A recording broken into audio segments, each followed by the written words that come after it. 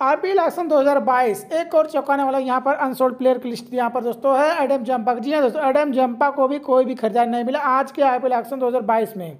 हालाँकि कल फिर एडम जंपा का नाम आएगा इस ऑस्ट्रेलिया लेग स्पिनर के बारे में देखते हैं कौन सी टीम सोचती है और किस टीम की तरफ़ से आईपीएल दो खेलते नज़र आएगा। एडम जंपा चैनल से जुड़े रहेंगे अपडेट। तक अगला अपडेट आपको जल्दी मिलेगा। जय हिंद।